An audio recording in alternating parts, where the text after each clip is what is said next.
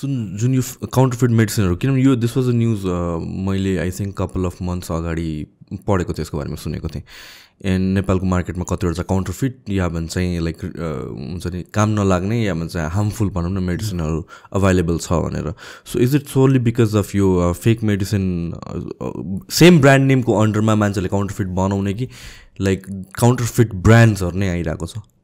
Compound different यसमा चाहिँ जस्तो हामीले रिसेन्टली गरेको I think last year publish गरेको पेपरमा चाहिँ what we look at is the डिडिएले चाहिँ बेला बेलामा यो जुन चाहिँ मोनिटरिङ गर्छ त्यो गर्दाखेरि चाहिँ उनीहरूले निकालेको रिजल्टलाई हामीले एनालाइसिस गर्दाखेरि चाहिँ मोस्ट अफ द रिकल्ड गरेको ड्रगहरू चाहिँ लो क्वालिटी क्वालिटीमा पास नगरेको अनि कति चाहिँ not registered in Nepal okay yeah that's what I was going to come like not registered in Nepal किनभने यो त आउनु this is like basically illegal नै भयो। इलिगलै हो होइन किनभने चाहिँ यो ब्रान्ड नेमलाई एउटै कम्पाउन्डको भए पनि मान्नु एउटा सर्टन मेडिसिन फिभरको मेडिसिन के भन्छ हाम्रो? सेटामोल सेटामोल नै अब there may be hundred of brands होइन अब त्यसमा चाहिँ सर्ट लेट्स नेपालमा हन्ड्रेडवटालाई अप्रुभ गरेको छ।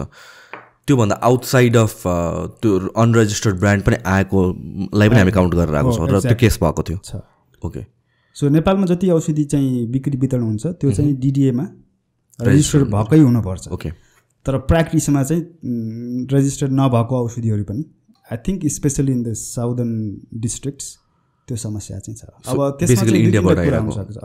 अब इन्डियामा रेजिस्टर भएर नेपालमा नभएको पनि हुनसक्छ अथवा त्यो इन्डियामा पनि रेजिस्टर छैन होइन?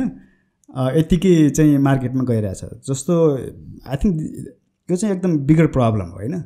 जस्तो रिसेन्टली पनि तपाईँको इन्डियाको चाहिँ अब त्यो कम्पनीको हामी अहिले नाम नल्याउँ होइन? यो कफ सिरप या कफ सिरपको पनि न्युज कफ सिरप चाहिँ इन्डियाको कम्पनीले चाहिँ बनाएको कफ सिरप चाहिँ आई थिङ्क यो केस चाहिँ उज्बेकिस्त उज्बेकिस्तानमा चाहिँ कफ सिरप पठाएको। त्यहाँ चाहिँ यो कफ सिरपमा क सिरपमा चाहिँ जुन चाहिँ सल्भेन्ट भन्छ हामी त्यो सल्भेन्ट युज गरेको छ। त्यो चाहिँ डाइथाइलिन ग्लाइकोल भन्ने इफ आई रिमेम्बर करेक्टली होइन। त्यो चाहिँ पोइजनस हुन्छ तर त्यो सस्तो हुने भएको हुनाले तिनीहरूले त्यो चाहिँ मिसाउँदो रहेछ। अनि त्यो चाहिँ भेरी डेन्जरस अनि यो केसले गर्दाखेरि चाहिँ this is very good example of counterfeit drugs होइन।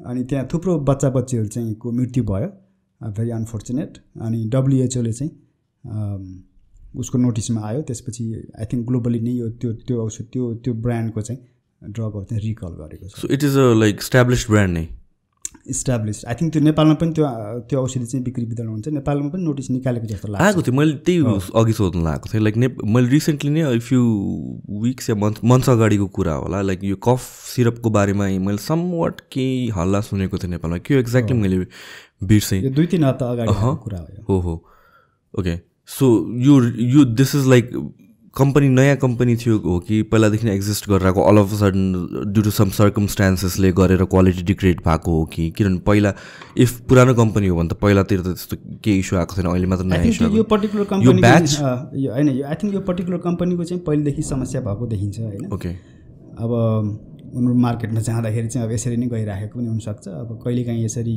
मान्छेले कहिलेकाहीँ चेक गर्दाखेरि ठिक छ कहिलेकाहीँ चेक गर्दाखेरि ठिक छैन भन्ने खालको उनको प्र्याक्टिस पनि हुनसक्छ। ओके